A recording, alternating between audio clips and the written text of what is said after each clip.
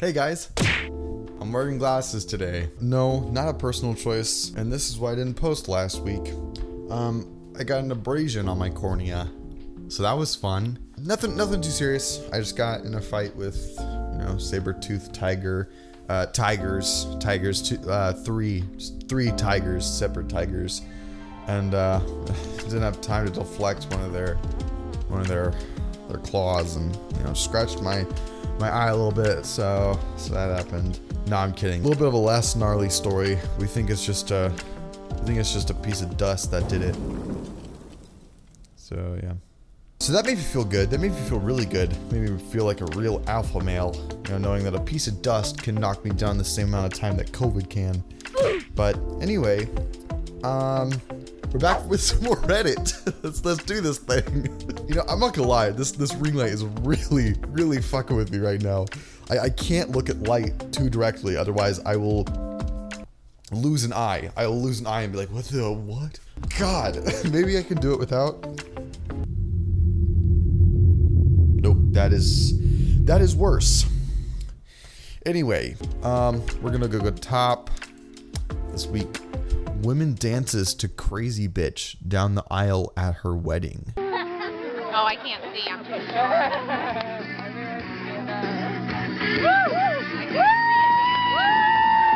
Break me down. You got a lovely face. Coming to your place.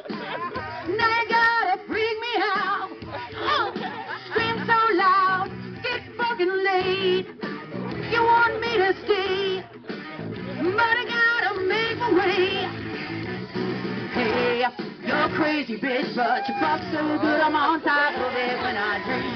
Doing you all night, scratches all down my back, give me right all night.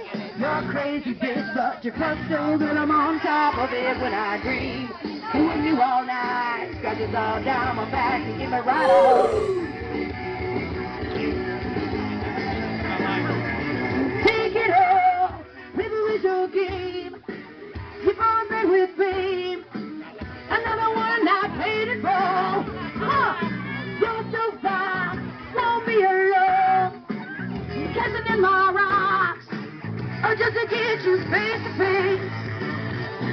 Hey, you're crazy bitch, but you fuck so good I'm on top of it when I dream. Doing you all night, scratches all down my back, give me right all night. You're crazy bitch, but you fuck so good I'm on top of it when I dream. Doing you all night, scratches all down my back, There's so much happening in this video.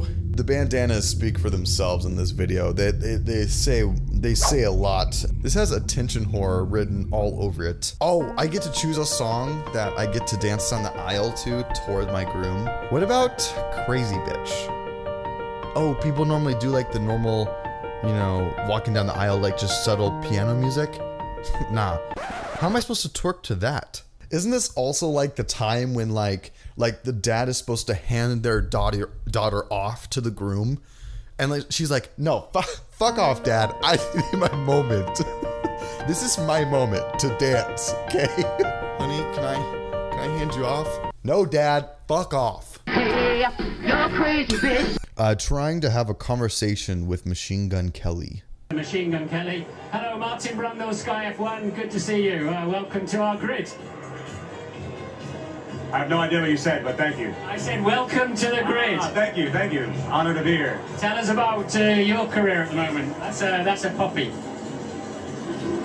What, what, what are you saying? Tell us about your career at the moment. What, what's going on for you? Um, oh, my career. I don't think about my career. I don't think about it. Uh, well, well, I'll tell you what, good luck with it, whatever you do. What do you think about our business in Formula One? Business is great. It's loud. Your life's on the line. That's exciting. I was in a studio the other week, and uh, Lewis Hamilton was in the other studio. That was nice. Yeah, yeah. Good, really good to see you. What do you What do you think about my business?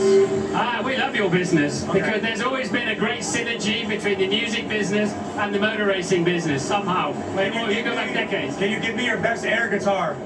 Uh, no, I can't. I learned the piano once and I know the middle C was near the lock, and that's about it. Let's do an air piano and air guitar collaboration right now. Three, two, Uh, there's millions. You do it. I can't do it. I can't do it. Keys. I need keys. I probably need to get on, but uh, because we got some we got some people to see, but they don't deserve my they deserve my egg. Something tells me I won't be on his Christmas card list, but uh, Oof. Oh. Oh my god. Whoa. what did I just go through? I felt like the video was 15 minutes long. First off, um, MGK, love the banana outfit. Too bad you're acting bananas though. I guess I guess they did like like just jumpstart him at it. Like like hey MGK, answer these questions. You know anybody's gonna be startled and like taken off guard. Like you know normally you know you think people like MGK who have had interviews in the past like settle into it. Be like okay I know the drill. Lay it on me. Give me the questions, and then here's the answers. Um, no, not in this situation though. I would say he was trying to go do other things, but no. Then he just tried to just do air guitars. they were, you know, hosting the interview, and because they didn't do it the way MGK wanted to do uh, an interview that wasn't an interview, um, he's like, "Oh yeah, thumbs down, guys. That was a horrible interview. I didn't even, I didn't even see an air piano get played at all." I don't think about my career. I don't think about it. well, I'll tell you what, good. Why is he acting so strange? Why is he acting so strange? Um, oh, my career. it's loud. Your life's on the line. That's exciting. I was in a studio the other week, and uh, Lewis Hamilton was in the. He's just saying things. Oh yeah, your business. Uh, It's loud. Um, I was in the studio. The worst job interview ever. Oh my god. Oh my god, Boogie. if you want me to make a video, actually, I might make a video about it because it's super interesting stuff. Um, just about somebody that's been through the horror of being like overnight international YouTube YouTube star. But anyway, this this might speak volumes to you. Um, and if you want to lear- learn more, I- I'll probably do a video about a lot of Boogie stuff. But let's take a let's take a look at his his job interview. It's only a minute, but I mean, there's there's a lot can be said in a minute, or not if you're MGK. Tell me a little bit about your background and where you think you want to go with the experience that you already have. Um, I did work at a small gaming store back in 2006, 2007. I am disabled, uh, recognized by the state of Arkansas, but also the United States government. There's that. Now, the, the downside of that is I am extremely depressed, so there's some mental health issues that we bring to the table. And then physically, I, I am morbidly obese. I have no references, uh, no work history, and no education. And when you Google my name, you might see rumors that I beat my ex wife. Should mention I'm also a felon. Okay. Uh, What's the nature of your felony? aggravated assault. How old is it? About two years. I did work in the porn industry for the better part of seven years. So, I mean, Be real with me. Do you really think it would be a good idea to go to a real interview and reference porn? it depended on the job, I would think.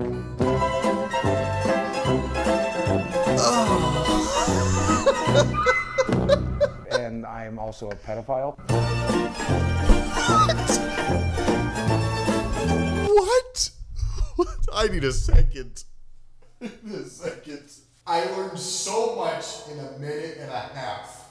How do you say I'm the victim without saying I'm the victim? This answer right here. Everything's against me. Um, the world's just against me. You know, I haven't really tried to do anything else, but like I said, I'm super depressed and I've only had jobs at porn. I don't know what else to do. You can't do this in an interview you can't like she is not your therapist you can't just sit down and and just tell her your life story because she wanted to know your goals and aspirations yeah my life is fucked but i want a job here it aggravates me so much but i also love how he how she read him like a book do you think it would really be a good idea to say all that interview he's like um depends on the job what job unless you wanted to hold you know, the boomstick for for a porn or something. I mean, maybe he could do that. Although he probably still wouldn't shut up. He'd probably still complain about stuff. Maybe he'd be the cleanup crew. I don't know. you know, everyone's got to start out somewhere, you know? But the thing is, you first got to try. DSP rages at Taylor Swift fans for spending money on a concert. Who's DSP? I guess it's, it's like a content creator, I guess. Now, there's no way that I paid $700 for a concert ticket only for that show to be blocked by someone else's sign. I have a big solution to this one. Are you ready? Here's the solution.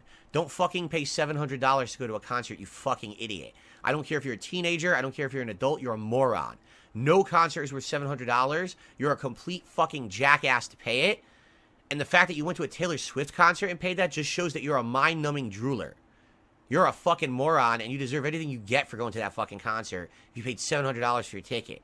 All right? Now, if you go to a concert, should you be blocked of your view? No, but that's the fault of the concert venue, not the fault of the other concert goers. Right? so, yeah, the venue should be making sure that people that go to the concert don't ruin the concert experience for everyone else. But that's up to them. And if they don't, again, shame on you for spending money at a concert venue like that and you didn't do research to find out if they do a good job or not, you know? It's it's sad, but people are dumb, people are cows, they fall for everything, they spend an insane amount of money on dunce level shit, and then they fucking sit there and not gonna start getting to a fight and go to jail over it. You're a moron. Holy crap! Oh my god! Holy crap, dude! Take a chill pill. take, take a chill pill. Jesus. People could do what they want. In the grand scheme of things, like like for Taylor Swift, this big name, to go to your city and and present herself with songs and giving you a, a super great show, I would say with, with how how spectacular the show is, which I've which I've heard of, is worth seven hundred dollars. Debatably, how however close you are, and in this video, they were pretty dang close. And also, he he also wants to say that like like they didn't do research like on how good the security is going to be or something like that. How the fuck are they supposed to know? There's no research to be done. Nobody knows how anybody's gonna react at any given moment. That's why it's that's why security is there. this guy's just mad because his stream isn't worth seven hundred dollars. It also just pisses me off because like live entertainment is worth that much nowadays. Everyone has to get paid. And for everybody to get paid and for all the, the, the spectacular lights and and and and and the show and, the and the props and, and the costumes and the choreography like it all has a price point that has to be met. And for it to be this spectacular it's gonna be expensive. The $700 for for that concert is not bad especially when taylor swift is that good. Point blank period. You can have you can have your own voice. That's fine. But damn.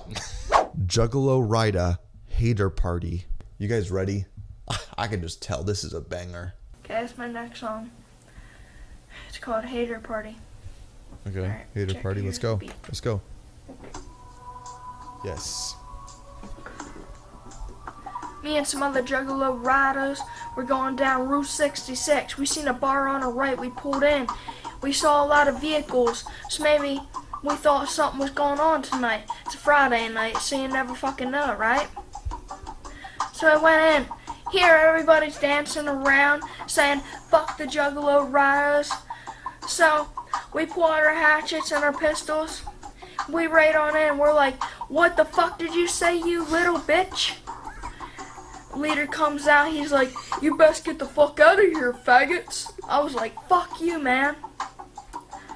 So I shot him. He fell to the motherfucking ground. The rest of the haters, they all had these goddamn knives, switchblades, and shit. So I'm like, Alright, let's go.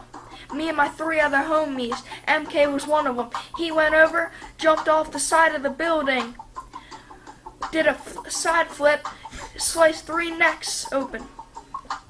I went straight in, two hatchets, cutting them straight down. My other two homies had their machine guns. They just started gunning down people to my right and left. The hater party was soon disappearing. People were locked up in their office. We beat the shit out of the door till we finally got in. We went in, all we seen was blood squirting all over the walls. Cause we cut them all open. No, we're only halfway done. Oh my god. He learned to cuss today. This dude's like 12. He's a 12 year old chicken. Not even on beat, just like just moving. He's just like he he started the the beat just to be like this is a rap, but like quickly two seconds in forgot about it. And he's like, yeah, we we killed all these people because they said they hated us and we shot them. We cut their necks and it's like, dude, whoa, whoa. Lay on the beat, man. Also, isn't Juggalo like a like a like like a street clown? Like you hire for things? Hey Siri, what's a Juggalo? A juggalo is a fan of the hip hop group Insane Clown Posse or any other hip hop group Oh, assigned to psychopathic. what's what's the clown thing?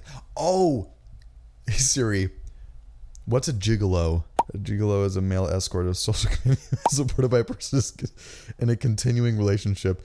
Oh, so I just mixed them both. I just mixed them both.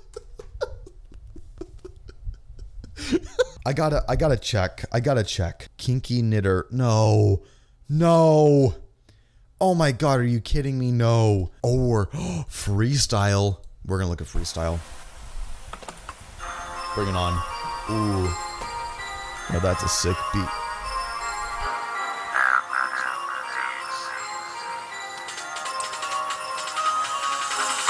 Now it's gonna get tough on when you feel stutter when you do, I'm putting you in the car and all your blood's gonna splatter. Then I'm putting you in gutters. You get dick right in your ass from red saber. Well, why not? I'm child, take it away. It always stay.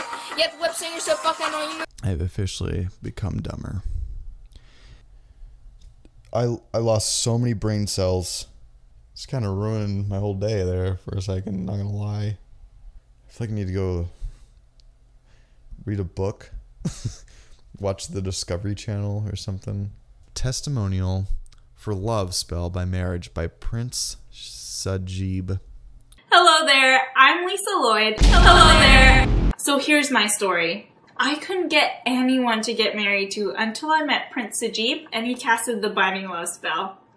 In just three days, DeBear approached me and in just six months, we got engaged and we're finally ready to get married. You're cool with it, aren't you? Yeah, I'm the luckiest man. Thanks, Prince Ajib. Thank you. Huh? So, uh, wait, hang on. Let me give me a second. I couldn't get anyone to get married to until I met Prince Sajib and he casted the binding love spell. In just Oh.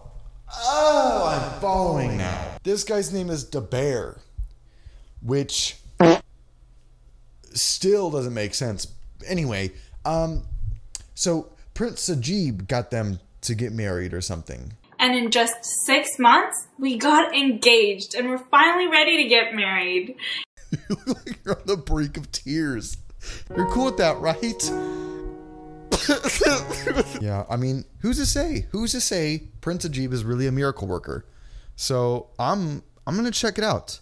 GuruHealer.co.za. .co.za. I am going to be hacked or something. I can feel it. Okay. Okay. Um. Sure. Okay. Yeah. I, I know the date. I know the date. It's not even that date. Is it? Why is it saying tomorrow? why is it displaying tomorrow here? That's not correct. It's it's Wednesday. Prince Ajib. Oh God, what? Stop. No, with my relationship.